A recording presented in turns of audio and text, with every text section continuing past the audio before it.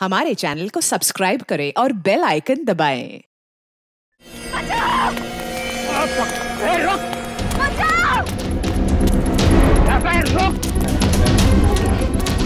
बचाओ मेरी मदद करिए मुझे बचाइए मुझे बचाइए बचाओ मुझे बचा लीजिए इन गुंडों से मुझे बचा लीजिए मुझे मार डालेंगे प्लीज़ मुझे इनसे बचा लीजिए भाभी आप आप चिंता मत कीजिए मैं आपको कुछ नहीं होने दूँगा मानो तुम लोग हीरो हमारे बीच में टांग अड़ाने की कोशिश मत कर वरना कल सुबह का सूरज देखने के लिए ज़िंदा नहीं बचेगा तू देखो तुम लोग जो कोई भी हो ये ठीक नहीं कर रहे हो समझ गए तुम ये ऐसे नहीं मानेगा ए पकड़ो आगे मत छोड़ दो मुझे छोड़ दो मुझे हूँ छोड़ दो छोड़ दो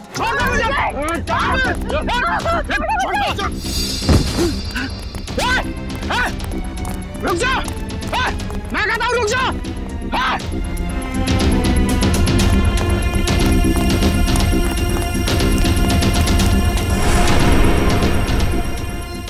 आज आर या पार हो ही जाए।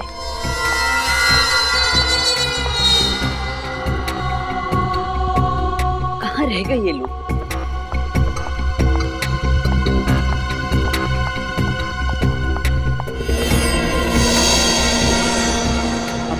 जाना चाहिए था। पता नहीं कहाँ अटक गए ये लोग।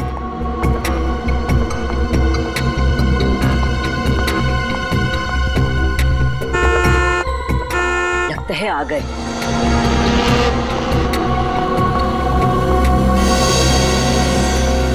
कोई हमारा पीछा तो नहीं कर रहा सर? कोई हमारा पीछा नहीं कर रहा है। तुम चिंता मत करो। कहीं हम किसी बड़ी मुसीबत में ना फंस जाएँ सर। तुम बेवजह परेशान हो रही हो। कुछ नहीं होगा।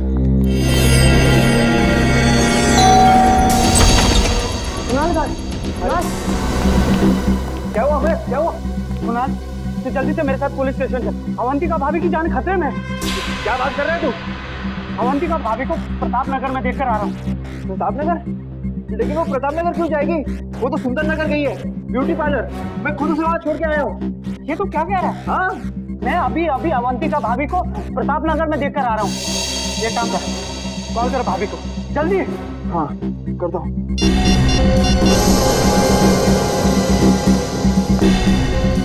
पिकअप अवंतिका पिकअप अरे यार फ़ोन नहीं उठा रही वो। मैंने कहा था ना अवंतिका भाभी की जान खतरे में है। देख कुणाल तू इस बात को हल्के से मत ले।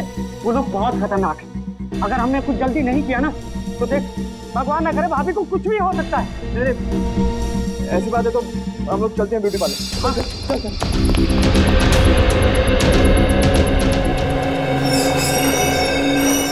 जी। मेरी पत्नी अवंतिका यहाँ आई थी क्या कौन है वंशिका अवंतिका? अरे कुणाल तुम यहाँ क्या कर रहे हो? ठीक हूँ मतलब? मुझे क्या होना है? ये भाभी कुछ देर पहले आप प्रताप नगर में थी ना? अबे भैया मैं प्रताप नगर में क्या करूँ? मैं तो यहीं पे हूँ कब से? पार्लर में। वही तो मैं से कह रहा हूँ कि अवंतिका पार्लर में है। अरे कुणाल अगर भाभी यहाँ है तो वहाँ वो कौन थी?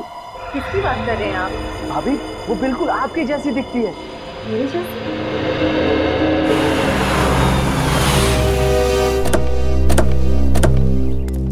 सीआईडी जी हम लोग सीआईडी से। साहब मेरा नाम रमेश है। मैंने ही आपको फ़ोन किया था। आइए अंदर आइए।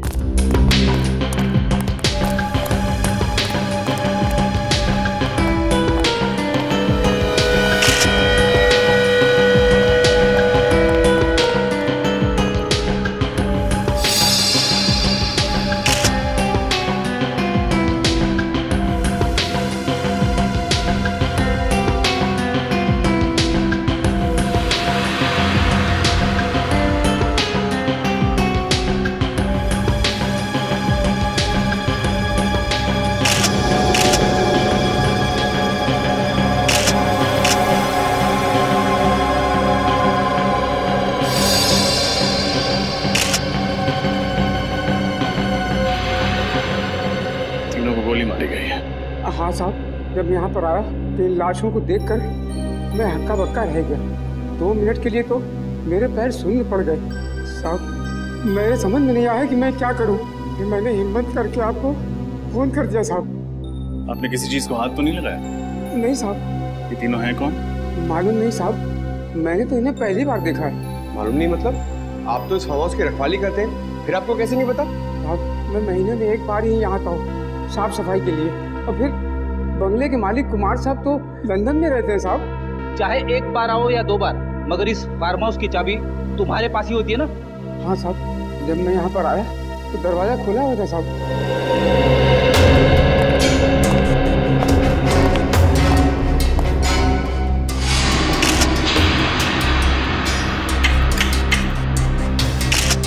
दरवाजे के साथ छेड़खानी तो हुई है। सर!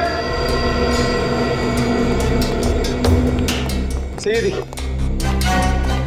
सर सोफे के नीचे ये मिली। गन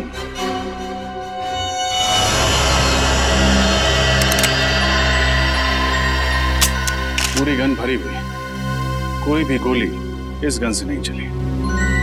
सर शायद इन्हें पता होगा कि इनकी जान को खतरा है। इसीलिए आत्मरक्षा के लिए अपने पास गन रखी होगी। लेकिन फ्रेडी अगर इन्हें पता था कि इन पर हमला होने वाला है तो इन्होंने सीआईडी से मदद क्यों नहीं मांगी? और सर ये तीनों लोग यहाँ पे क्या करने आए होंगे? कपड़ों से तो ये अच्छे खासे घर के लगते तो फिर एक अनजान आदमी के फार्म हाउस में क्यों घुसे होंगे? इस केस में सवाल ज़्यादा है जवाब कम। फ़िलहाल हमें ये पता करना है कि ये तीनों हैं कौन। इस आदमी के जूते कुछ अजीब नहीं लग रहे हाँ। सर। इसके कपड़ों के साथ बिल्कुल भी मैच नहीं कर रहे। ऐसे जूते सर्जन पहनते हैं ऑपरेशन के दौरान। हाथों के नाखून भी छोटे कटे हुए हैं। जैसे कि एक सर्जन के होते हैं। सर इसका मतलब ये कोई डॉक्टर या सर्जन है? हो सकता है। मिसिंग पर्सन ब्यूरो से इन तीनों के बारे में पता लगाना फ्रेडी बाहर जाके पूछताछ करो। हो सकता है किसी ने खूनी को आते जाते देखा। ये सर देखते हैं। शायद कुछ और मिले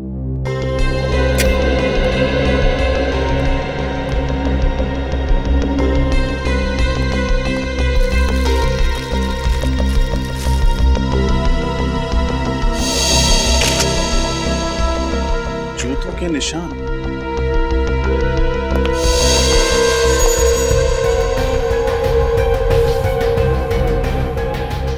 सर कहीं ये खून का तो नहीं? हो सकता है। सारे निशान उठा लो। इन जूतों की मिट्टी से ही डॉक्टर साड़म के कोई कारनामा कर दिखाएँ।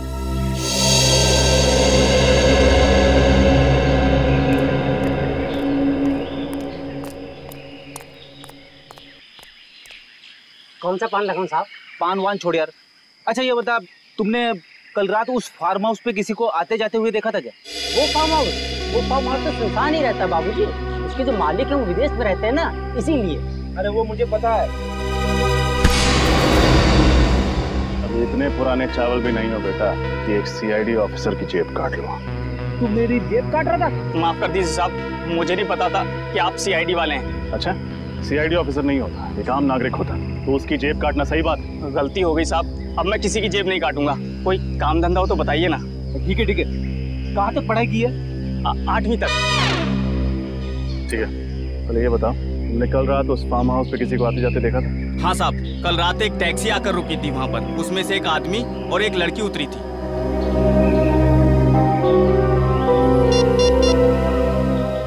ये तीन फ़ोटोज़ दे इनमें ही से थे?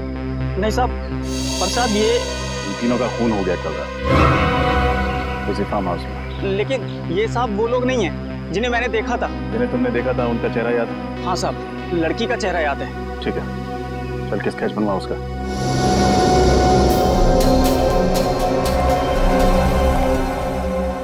सर और कितना वक्त लगेगा? भाई साहब एसीपी प्रद्युमन बनने की कोशिश मत कीजिए। टाइम लगता है। हाँ सर आप लीजिए टाइम मैं यहीं।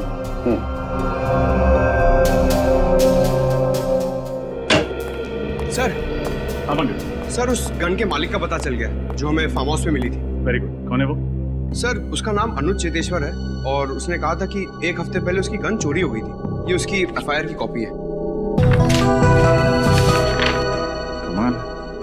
न गन इनकी न फार्म हाउस इनका। समझ में नहीं आ रहा। और एक बात रजत। इस गन पे सिर्फ़ इसी बुज़ुर्ग औरत की उंगलियों के निशान मिले हैं। रजत जैसे ये सारा चक्कर शहद का है। शहद? शहद यानी हनी? हाँ। दरअसल जूतों पर जो मिट्टी लगी हुई है इस मिट्टी पर मुझे प्रोपोलिस मिला है। प्रोपोलिस हाँ। वही प्रोपोलिस जिसे मधुमक्खियाँ इकट्ठा करती हैं अलग अलग किस्म के पेड़ पौधों फूल पत्तियों से। शहद बनाने के लिए।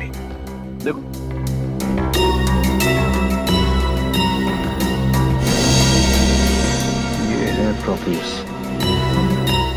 इसका मतलब ऊनी जिस जगह से होकर आ रहा था वहाँ शायद मधुमक्खियों के छत्ते वगैरह। बिल्कुल।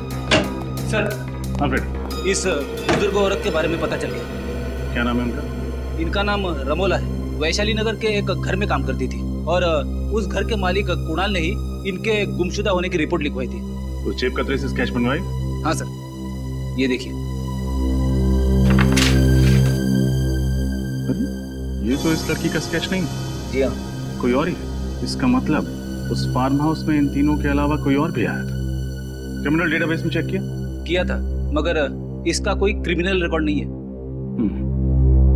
कुणाल के घर चलते हैं। शायद वो बता पाए कि ये स्केच वाली लड़की है कौन।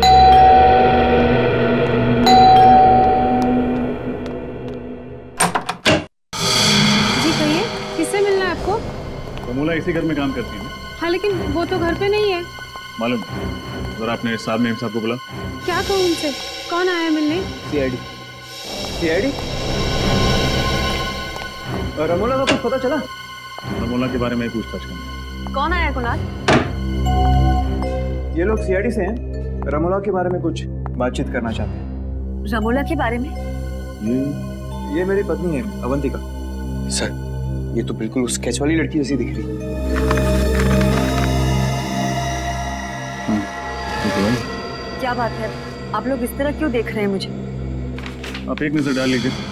कुछ समझ जाएँगे। ये तो मेरा स्केच है। लेकिन सर मेरी पत्नी का स्केच आप लोगों के पास कैसे? एक जेब कतरे ने बनवाया। जेब खतरे ने मेरा स्केच बनवाया? जी हाँ। कल रात जब आप सिरसी रोड वाले फार्म हाउस पर गई तो उसने वहाँ आपको देख लिया। सिरसी रोड वाला फार्म हाउस कल मैं कहीं नहीं गई पर सिरसी रोड पे तो हमारा कोई फार्म हाउस ही नहीं है। हाँ एग्जैक्टली आपका फार्म हाउस नहीं था इसलिए जुर्म करते वक्त आपके हाथ बिल्कुल भी नहीं कांपे कैसा जुर्म? रमूला का खून करने का जुर्म। रमोला का खून हो गया? अब ड्रामा करना बंद करो। तुमने ही रमोला का खून किया। क्या बात कर रहे हैं सर आप? आप सीधे सीधे इतना बड़ा इल्ज़ाम मेरी पत्नी पर लगा रहे हैं? मैं रमोला का खून क्यों करूँगी? उन्होंने मुझे पाल पोस के बड़ा किया है। वो सिर्फ़ मेरी दाई माँ नहीं थी। मेरी माँ से भी बढ़कर थी वो मेरे लिए। मैं तो उनके खून करने का सोच भी नहीं सकती। कैसे मान लें कि आप झूठ नहीं बोल कैसे मान लें कि आप कल रात सिरसी रोड पर नहीं थी? एक मिनट एक मिनट सर। ये खून कितने बजे हुआ? रात को नौ बजे। नौ बजे? तब तो मैं सुंदर नगर के ब्यूटी पार्लर में थी। अगर आप चाहते हैं तो आप वहाँ फ़ोन करके पूछ सकते हैं। हाँ सर शी इज़ राइट मैं खुद अवंतिका को ब्यूटी पार्लर छोड़ने गया था। साहब ठीक कह रहे मेम साहब किसी का खून नहीं कर सकती। अगर तुम्हारी मेम साहब ने खून नहीं किया तो फिर इनका स्केच उस जेब कतरे ने कैसे बनवाया? मुझे फंसाने की कोशिश की जा रही है। हाँ सर कल रात मेरे दोस्त अमय ने भी अवंतिका जैसी लड़की को देखा था प्रताप नगर में। अवंतिका जैसी कोई दूसरी औरत। कहाँ है आपका दोस्त? बुलाइए जरा। सर वो आज ही इंडोनेशिया चला गया है छुट्टी मनाने। इन दोनों को पहचानते हैं? सर इन्हें क्या हुआ? रमूला के साथ इन दोनों का भी खून कर दिया गया। What my god Sirsi road farm house number 114 किसी श्याम सुंदर नाम के आदमी का घर है। जानते हैं आप? श्याम सुंदर सिरसी रोड? नहीं सर ऐसे किसी आदमी को हम नहीं जानते। और रमूला का मैंने सिरसी रोड का उनके मुँह से नाम भी नहीं सुना कभी। आखिरी बार कब देखा था आपने रमोला को? कल शाम सात बजे मैं रूटीन चेकअप के लिए हॉस्पिटल गई रमोला उस वक्त मेरे साथ ही थी। हम लोग वापस घर आए और फिर मैं पार्लर के लिए निकल गई। वो कहीं गई ज़रूर थी मगर उन्होंने कुछ बताया नहीं कि वो कहाँ जा रही है। हाँ सर। और जब वो वापस नहीं आई तभी हम लोगों ने पुलिस में कंप्लेंट की। किसी को शक है आपको? मेरी दाई माँ बहुत अच्छी थी। उन्हें मार के किसी को क्या मिलेगा? ठीक है फ़िलहाल हम चलते हैं लेकिन ज़रूरत पड़ी तो दोबारा आएँगे। जी।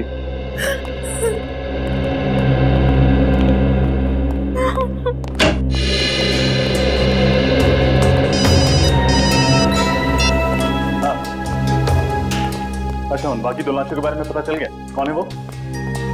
एक डॉक्टर और एक नर्स। कहाँ काम करते हैं? टेरी फ्लॉस हॉस्पिटल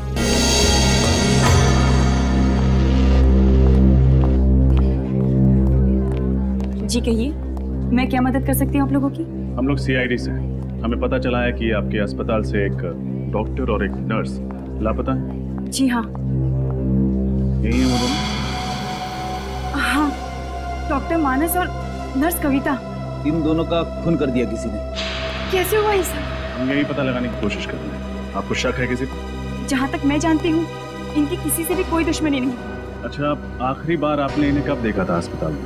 कल शाम सात बजे डॉक्टर मानस एक पेशेंट का हार्निया का ऑपरेशन कर रहे थे और कविता भी उन्हीं के साथ थी। उस ऑपरेशन के दौरान इन दोनों के साथ कोई और था? जी हाँ ये वार्ड बॉय जितेश इधर आना। क्या हुआ दीपिका? डॉक्टर मानस और कविता का खून हो गया। क्या? हाँ और ये लोग सीआईडी से।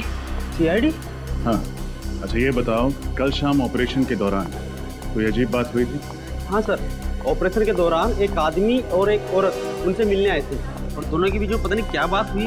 जब ऑपरेशन खत्म हो गया तो डॉक्टर मानस और कविता कहीं चले गए। क्या वो औरत ऐसी पता नहीं सर। उसने अपना चेहरा दुपट्टे से ढका हुआ था और आँखों पर काला चश्मा था। आदमी का चेहरा याद है तुम्हें? थोड़ा थोड़ा याद है। ये दोनों कहीं वो लोग तो नहीं है जिन्हें उस जेब कतरे ने देखा था? हो सकता है फिर अच्छा उन दोनों के बारे में कोई और बात याद है तुम्हें? हाँ सर। उस औरत की तबीयत बहुत खराब थी। उन दोनों के लिए ऑटो रिक्शा में ही लेकर आया था। तो कुछ सुना था तुमने? उन्होंने ऑटो वाले से कहाँ जाने के लिए कहा? जाने के लिए कहा था। हाँ सर। गुल रोड। गुल रोड जाने के लिए कहा था गुल रोड। पंकज गुल रोड जाके देख। उन दोनों के बारे में कुछ पता चलता है क्या? तुम हमारे साथ ब्यूरो चलो और उस आदमी का स्केच बनवाओ। मुझे तो इस अवंतिका पे ही शक है। इसी ने खून किया है। आड़ी टेढ़ी कहानियाँ सुना के हमें गुमराह करने की कोशिश कर रही है। Yes sir. उसके घर वाले उसे बचाने की पूरी कोशिश कर रहे हैं जबकि उसके पति के दोस्त अमय का कहना है कि उसने अवंतिका को मार्केट में देखा था। पता नहीं कौन सच बोल रहा है और कौन झूठ। और अगर अवंतिका उस रात फार्म हाउस में गई थी तो उस जेब कतरे ने उसे वहाँ देखा कैसे? सर केस तैयार है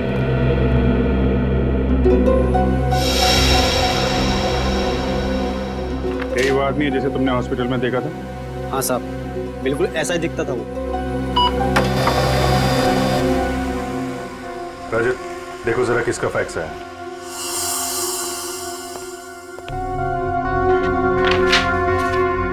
सर मोबाइल कंपनी से फैक्स आया। रमोला के फ़ोन रिकॉर्ड्स हैं सर चेक करो। देखो मौत से पहले किस किस से बातचीत हुई थी इसकी? सर मौत के दिन रमोला को अवंतिका से पाँच कॉल्स और कुणाल से तीन कॉल्स आए थे। और सर किसी अनजान नंबर से दस मिस्ड कॉल्स आए थे। जान नंबर से दस मिस कॉल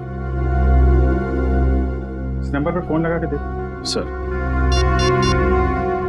सर हम जा सकते हैं? ठीक है अभी जाओ। बाद में बुलाएँगे तो आ जाना। जी सर। सर फ़ोन बंद आता नंबर वन मतलब मामला गड़बड़ पता लगाओ किसका नंबर है। सर मैं गुल रोड से आ रहा हूँ जिसके बारे में स्वॉट बॉय ने हमें बताया था। सर वहाँ पर एक जगह है जहाँ पर मधुमक्खी के छत्ते से शहद निकाला जाता है। हाँ। मधुमक्खी शहद। ठीक है। वहाँ चल के इस आदमी का स्केच दिखाते हैं। वहीं से हमें इस आदमी के बारे में कुछ ना कुछ पता चलेगा। पूछ पूछ के मेरे पैर दर्द करने लगे हैं। हाथ करते तो मुँह दर्द होता है आपके पैर क्यों दर्द हो रहे हैं? एक एक मिनट। तुम लोग अपना रोना बंद करो समझे? उस आदमी को ढूंढना बहुत ज़रूरी है। हिम्मत मत हारो। इससे पूछते हैं। एक्सक्यूज मी भाई साहब। ये इस आदमी को देखा क्या आपने आप?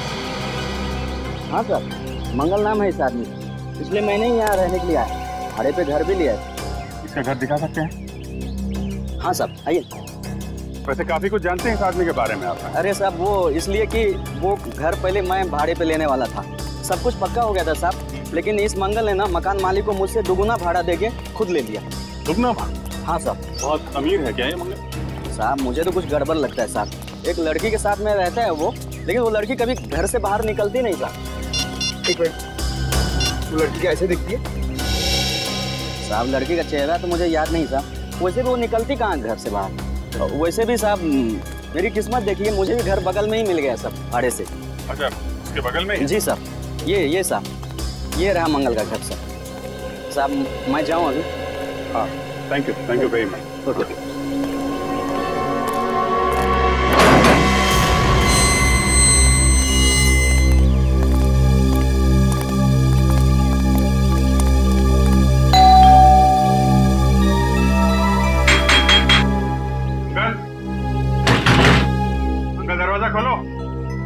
Mangal जवाब नहीं दे रहा। कहीं उसे भनक तो नहीं लगी? भाग के जाएगा कहा?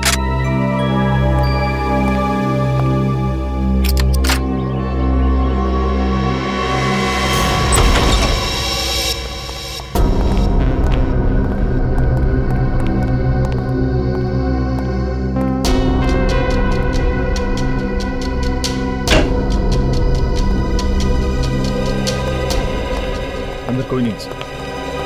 ठीक है। घर की अच्छी तरीके से तलाशी लेते हैं। देखो, कुछ मिलता है क्या?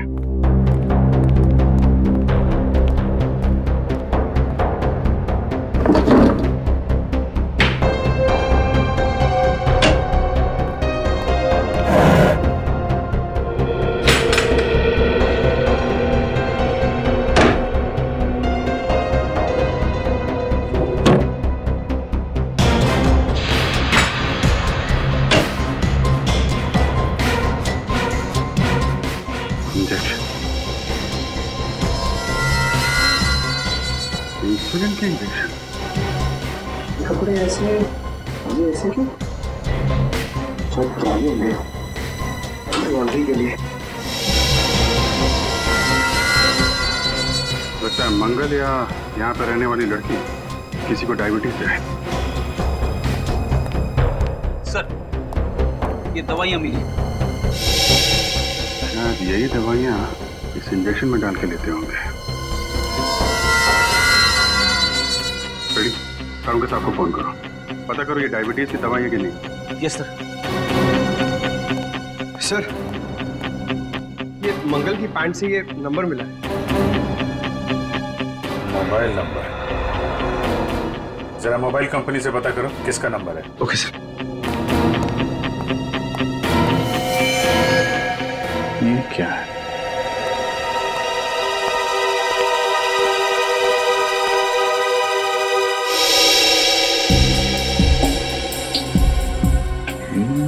तो रमूला का खून। रमोला का खून हो गया?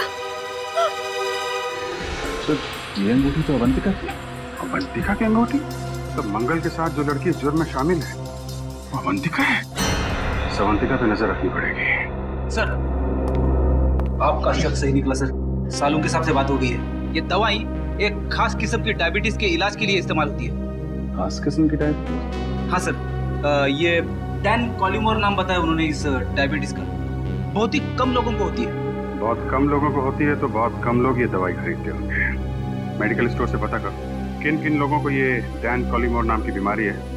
और कौन कौन ये दवा लेते हैं? ओके सर सर इस नंबर का पता चल गया सर ये एक टैक्सी कंपनी का नंबर है। टैक्सी कंपनी का नंबर मंगल की जेब में? इस टैक्सी कंपनी से पता करो। हाल में मंगल ने कोई टैक्सी मंगवाई थी क्या? हेलो हाँ बताइए किसका नंबर है? क्या? नहीं ठीक है। थैंक यू क्या हुआ? सर वो अनजान नंबर जो रमूला की कॉल लिस्ट में था तो किसी फ़िल्म एक्ट्रेस शीना का शीना? सर ये शीना तो फ्लॉप फ़िल्मों की हीरोइन है। इसकी फ़िल्में शुक्रवार को लगती है और शाम तक उतर भी जाती है सिनेमा हॉल से। फिर भी तुम उसकी फ़िल्में देखते हो हाँ? मगर ये शीना का रमोला के साथ क्या लेना देना? और सर जब शीना का नंबर ऑफ़ आ रहा है तो हम उस तक पहुँचेंगे कैसे? उसके सेक्रेटरी के ज़रिए। रजत उसके सेक्रेटरी से मिलो और पता करो ये चक्कर क्या है।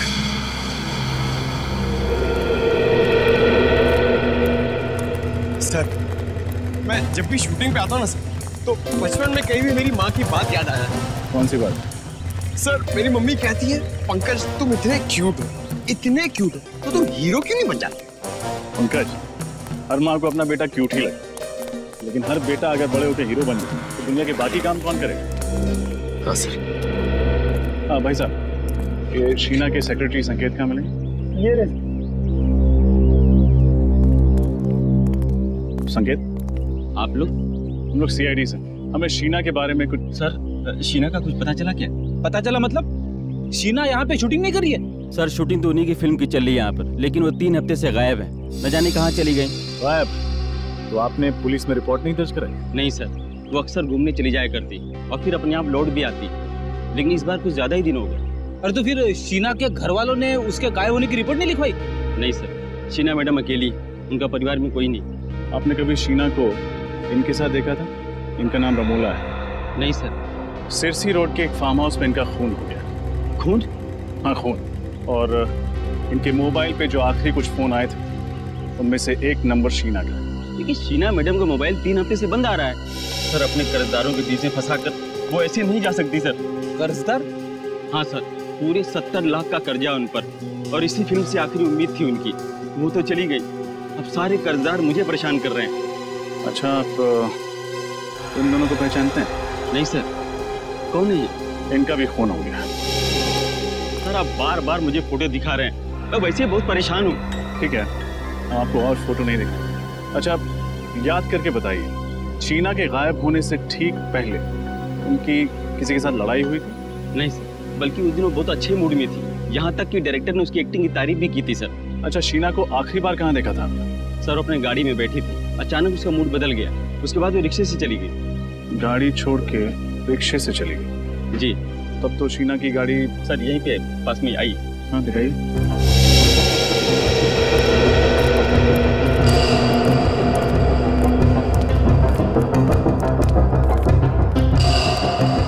सर रही गाड़ी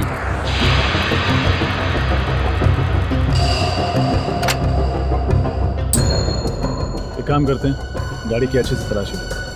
शायद कुछ मिले।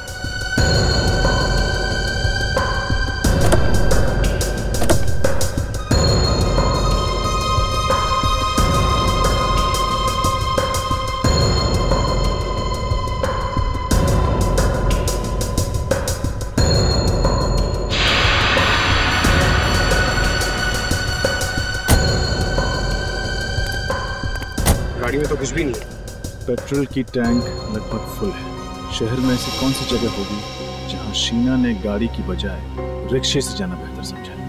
संकेत शीना किस दिन गायब हुई? जी सत्रह सितंबर को। कुछ याद है जब वो ऑटो पकड़ के गई थी? तब वक्त क्या हो रहा था? ये कुछ शाम के पाँच बजे थे। पंकज पता लगा। सत्रह सितंबर को शाम पाँच बजे के बाद शीना का फ़ोन किस एरिया में नेटवर्क पकड़ रहा था? और अवंतिका पर भी नज़र रखो। देखो जो अंगूठी हमें मंगल के घर से मिली थी। वो अंगूठी उसकी उंगली में है या नहीं?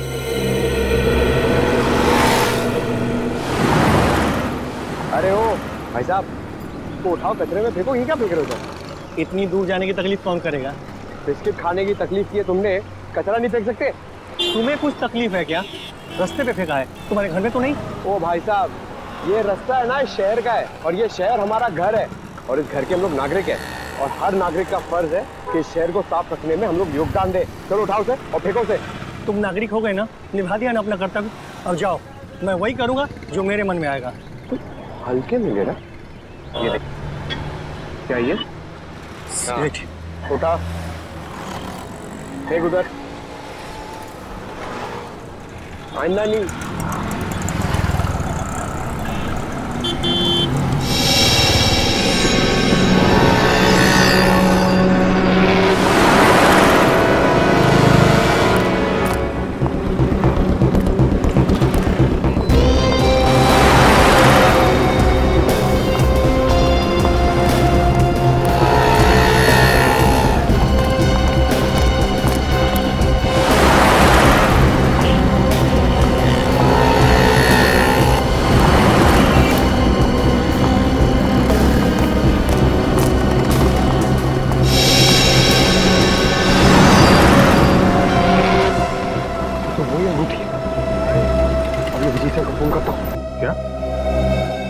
क्या कह रहे हो पंकज? अवंतिका की उंगली में ठीक वैसी अंगूठी है जैसे हमें मंगल के घर से मिली थी। अरे ठीक से देखा तुमने? कोई गलती तो नहीं हुई तुमसे? नहीं सर मैंने बहुत पेशेंस से फॉलो किया सर। वो अंगूठी इसके हाथ में है सर। ठीक है और कुछ पता चले तो फ़ोन करना ये कैसे हो सकता है? एक ही औरत एक ही टाइम पे दो अलग अलग जगह पे कैसे? है और तो और एक जैसी अंगूठियाँ। एक अवंतिका की उंगली में और दूसरी मंगल के कॉटेज में ये कोई गहरी साजिश है। कोई अवंतिका को फंसाने की कोशिश कर रहा है सर। खूनी बहुत चालाक है रजत। गहरा जाल बन रहा है। लेकिन जितना गहरा बुनेगा उतनी बुरी तरह फंसेगा। सर ये वो टैक्सी ड्राइवर है जिसने मंगल को अपनी टैक्सी में बिठाया था। नमस्ते सर। नमस्ते। तुम जरा ये स्केच देखो वही आदमी है जिसे तुमने टैक्सी में बिठाया था? हाँ सर शायद ये वही आदमी है। अगर इसका टोपी और चश्मा उतार दे तो तो सर बिल्कुल वैसा ही लगेगा। अच्छा। बिना चश्मा और टोपी के भी एक स्केच बनवा देना। और ये देखो ये लड़की का स्केच उस आदमी के साथ ये लड़की थी? सर उस लड़की का चेहरा तो याद नहीं। पर आदमी ही कहाँ छोड़ा था दोनों सर वो ज्वाला रोड पर। वहाँ कोई इनका इंतज़ार कर रहा था? नहीं सर कोई नहीं था। ज्वाला रोड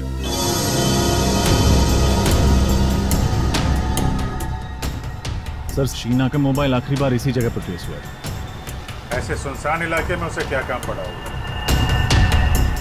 हो सकता है किसी से मिलने आई किससे? शायद उससे जिसने उसे तीन हफ्तों से गायब कर दिया उसे किसी ने तीन हफ्तों से गायब किया या वो खुद गायब हो गई है? अभी पता चल जाएगा।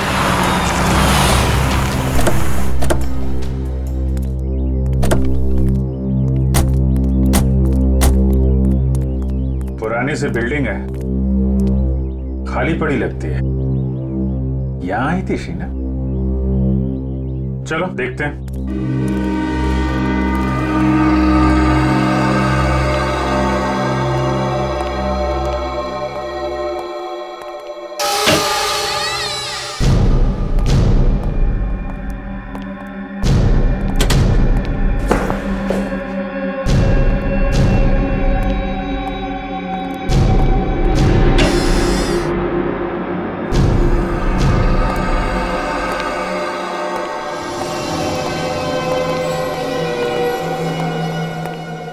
हॉस्पिटल लगता है जो बंद पड़ा हुआ है। शीना को भी इसी जगह पे आना था।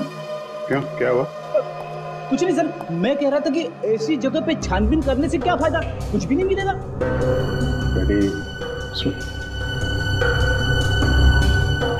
ऑपरेशन थिएटर में देखते हैं। ऑपरेशन थिएटर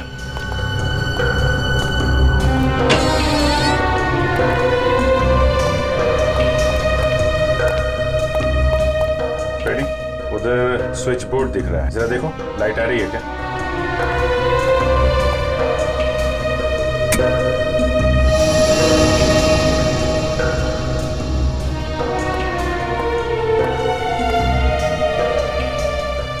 अच्छा खासा ऑपरेशन थिएटर है। यहाँ तो लगता है हाल में ही किसी का ऑपरेशन किया गया है। सर इस खंडर जैसी जगह में सिर्फ़ यही एक कमरा साफ़ सुथरा है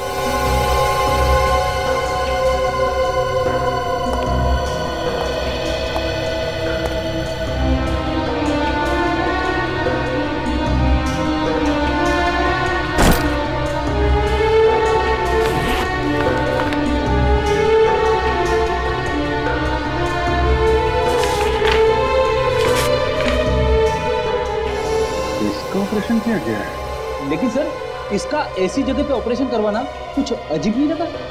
ठीक तो है फ्रेडी हैं? ये चक्कर है फ्रेडी इस हॉस्पिटल से जुड़े कोई भी आदमी डॉक्टर वार्ड बॉय कोई भी मिलता है तो ब्यूरो में लेकर आओ सर ये डॉक्टर अभिषेक है। ये उसी पुराने हॉस्पिटल में काम किया करते थे जहाँ पे हमें वो ऑपरेशन का सामान मिला था। मुझे तो यकीन ही नहीं हो रहा कि उस बंद पड़े अस्पताल में कोई ऑपरेशन भी हो सकता है। डॉक्टर अभिषेक मैं आपको एक स्केच दिखाना चाहता हूँ। इसे पहचानते हैं आप? मंगल नाम है इसका। मंगल? नहीं नहीं सर ये मंगल नहीं है। मुझे लगता है आप लोगों को कुछ गलत फहमी हो रही है। ये डॉक्टर गौरव। गौरव?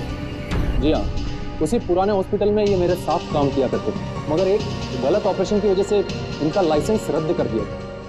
ओह तो इनका लाइसेंस रद्द कर दिया गया।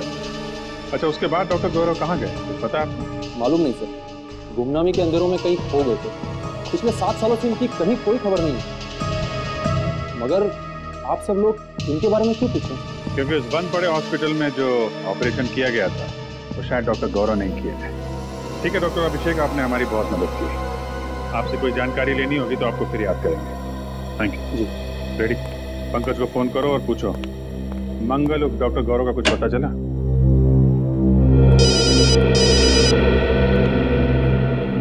हेलो? हाँ नीता जी बताइए। वो खास किस्म की डायबिटीज़ तीन लोगों को है। आ, उन लोगों के नाम जान सकता हूँ विनोद रघु और अवंतिका। जी आप कहीं अवंतिका कुमार के बारे में तो बात नहीं कर रहे? हाँ हाँ श्याम नगर में रहने वाले। ओह ओके थैंक यू वो अवंतिका को है वो खास बीमारी।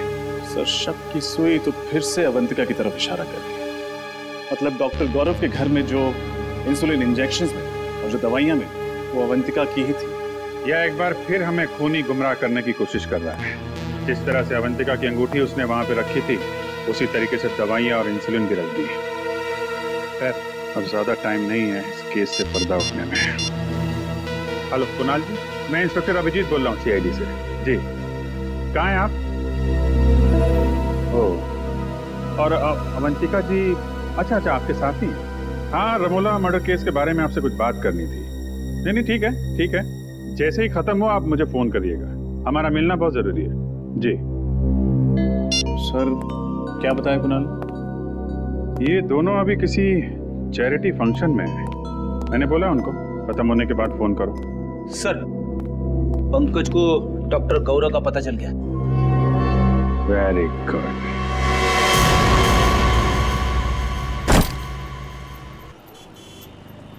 तुम्हारे लिए कुछ लाऊं?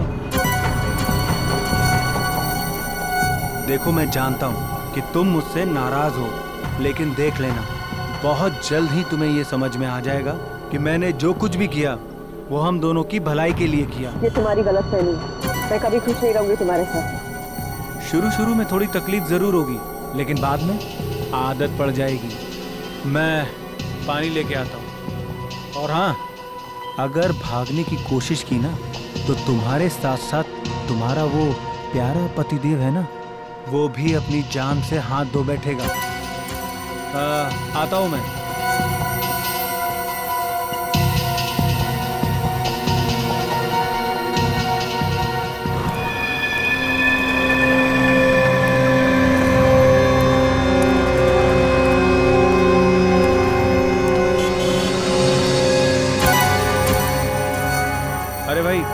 चिप्स और पानी की बोतल देना।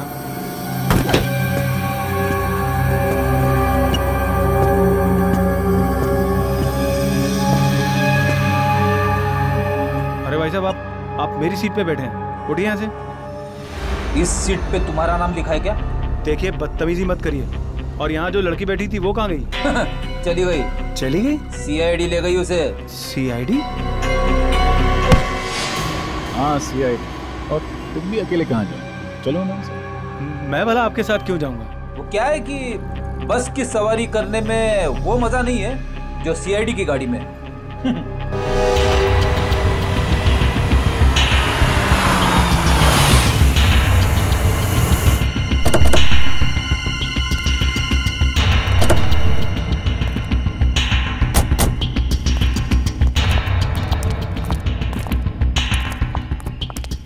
हो सर आपने अचानक हमें मिलने के लिए यहाँ क्यों बुलाया? किससे मिलवाना था किससे? Freddy yes sir.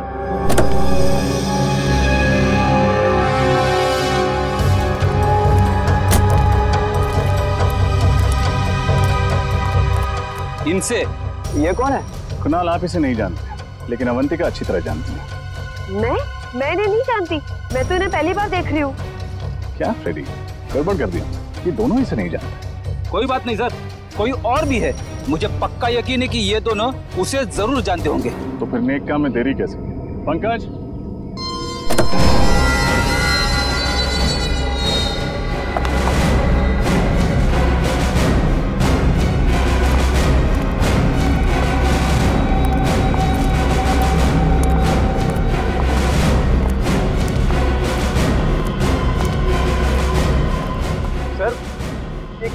कोई मुझे बताएगा? भगवान का लाख लाख शुक्र है तुम्हें। सीआईडी वालों ने मेरी जान बचा ली। वरना मैं तो तुम्हारी शक्ल देखने की उम्मीद भी छोड़ चुकी थी कौन हो तुम? कौन हो तुम मतलब? मैं अवंतिका हूँ। तुम्हारी पत्नी अवंतिका। हाँ? झूठ बोल रही है ये। तुम्हारी पत्नी अवंतिका मैं हूँ। ये ना ये धोखेबाज लड़की मेरी हमशक्ल होने का फ़ायदा उठा के तुम्हें उलझा रही है। झूठ मैं नहीं झूठ ये लड़की बोल रही है गुनाह। मैं ही तुम्हारी पत्नी अवंतिका हूँ। और मैंने तुम्हें बताया होगा ना कि उस रात मार्केट में गुंडे मेरे पीछे पड़े थे और मैं उनसे बच के भाग रही थी। इतनी बड़ी साजिश! इसकी एक मत सुनना कुणाल ये ना हमारा हंसता खेलता परिवार बर्बाद करना चाहती है और इसीलिए इसने ये सारा खेल रचा है। बहुत हुआ। कौन असली है कौन नकली अब ये सीआईडी बताए। वैसे नकली अवंतिका ने एक्टिंग बहुत अच्छी की। तो क्यों ना करते आखिर वो भी तो एक फ़िल्म एक्ट्रेस है। खबरदार। बहुत अच्छा किया तुमने। चलो। अगर कुछ भी किया ना तो मैं इस अवंतिका के पति को गोली मार दूँगी। नहीं! ब्यूरो चलें। ए, तुम भी। मैं शीना हूँ Sheena. Film actress Sheena. Avantika यही है। तुम्हारी असलियत तो हमें उसी वक्त पता चल गई थी जब पुराने हॉस्पिटल से तुम्हारा बैग और उस बैग के अंदर तुम्हारी ऑपरेशन से पहले की फ़ोटो मिली थी हमें।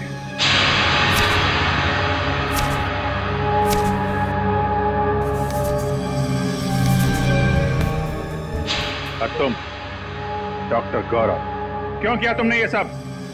मैं कॉलेज के दिनों से अवंतिका से प्यार करता था पर अवंतिका ने मेरे प्यार को अपने पैरों तले रौन दिया कुणाल से शादी करके।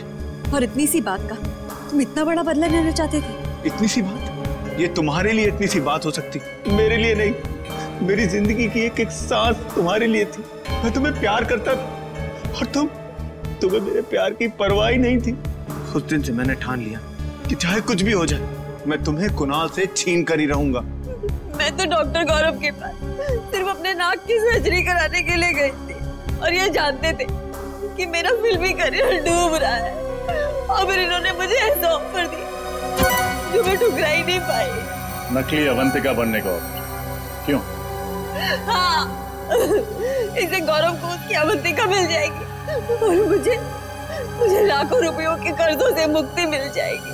मगर गड़बड़ तब हुई जब रमोलो का तुम्हारी असलियत पता चल गई। हाँ मैं नहीं जानती थी कि अवंतिका को डैन कॉलिमोर नाम की एक खास किस्म की डायबिटीज़ की बीमारी है। मैं जब हॉस्पिटल गई चेकअप कराने मेरी रिपोर्ट में डायबिटीज़ नहीं निकली। रमोला को मेरे में शक हो गया और उसने अवंतिका के बुलाने डॉक्टर डॉक्टर मानस को फार्म हाउस में बुला लिया। और इससे पहले कि तुम्हारा भांडा फूट जाता तुम दोनों ने तीन तीन फ़ोन कर दिए। और क्या करता सर? हमारे पास और कोई चारा नहीं था। अपनी अपनी मंजिल तक पहुँचने के लिए हमारे सामने यही एक रास्ता था। मंजिल चाहे कोई भी हो अगर उस तक पहुँचने का रास्ता जुर्म से होके गुजरता है तो उसका अंत हमेशा बुरा ही होता है। शायद फांसी ही होगी तुम लोगों for more update subscribe to our channel click the show links and enjoy watching the videos